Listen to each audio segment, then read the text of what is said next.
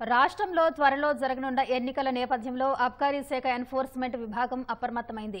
మద్యం అక్రమ అమ్మకాలు అక్రమ రవాణా నిల్వలను అరికట్టేందుకు పటిష్ట చర్యలు చేపట్టింది. ఇందుకోసం వాహనాల తనిఖీలతో పాటు మద్యం అక్రమ రవాణా చేస్తూ చిక్కిన వారిపై కేసులు నమోదు చేస్తున్నారు. తరచూ పట్టుబడే వారిపై పీడీ చట్టం నమోదు చేసి కటకటాల వెనక్కి పంపుతున్నారు. రాష్ట్రంలో ఎన్నికలు సమీపిస్తూ ఉండటంతో ఎక్సైజ్ శాఖ అప్రమత్తమైంది. ఆ శాఖ ఎన్ఫోర్స్మెంట్ విభాగం అక్రమ మద్యం కట్టడికి చర్యలు చేపడుతోంది. ఎన్నికల నేపథ్యంలో కేంద్ర ఎన్నికల సంఘం రాష్ట్రంలో సమీక్ష నిర్వహించింది. ఈ మేరకు వివిధ ప్రభుత్వ శాఖలు ఇప్పటికే పలు చర్యలు చేపట్టాయి. ఇందులో భాగంగా అబ్కారీ శాఖకు అక్రమ మద్యం నిల్వలు రవాణా కట్టడిపై దృష్టి సారించింది. ఎక్సైజ్ శాఖ ఇప్పటికే ఇరవై తొమ్మిది వేల ఆరు వందల అరవై మూడు మంది అనుమానాస్పద వ్యక్తులను ముందస్తుగా బౌండ్ చేసింది. ఎనిమిది వేల మూడు వందల అరవై రెండు మంది హిస్టరీ షీట్లపై నిఘా ఉంచింది. పద్నాలుగు మందిపై పీడీ చట్టం నమోదైంది. అంతర్రాష్ట్ర సరిహద్దు నిఘాను అధికారులు విస్తృతం చేశారు. అవసరమైతే నాన్ బెయిలబుల్ వారెంట్లను జారీ చేయడానికి సిద్ధమవుతున్నారు. సరిహద్దుల్లోని రైలు మార్గాల్లో నిఘా ఉంచేందుకు పదమూడు ప్రత్యేక బృందాలను ఏర్పాటు చేశారు.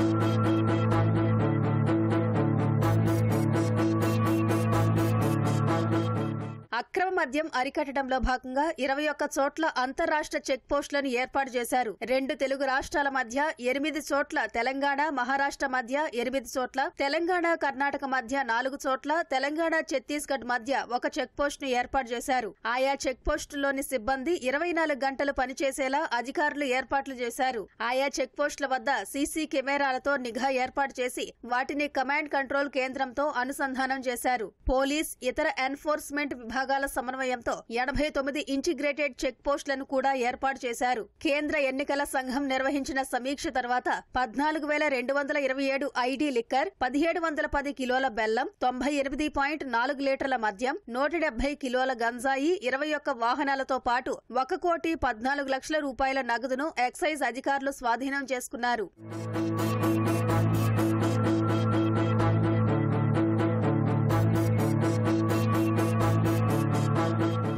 ఎన్నికల వేళ అక్రమ మద్యం రవాణా నిల్వలపై ఎక్సైజ్ శాఖ ఉక్కుపాదం మోపింది. తనిఖీల్లో చిక్కితే కఠిన చర్యలు తప్పవని అధికారులు హెచ్చరిస్తున్నారు.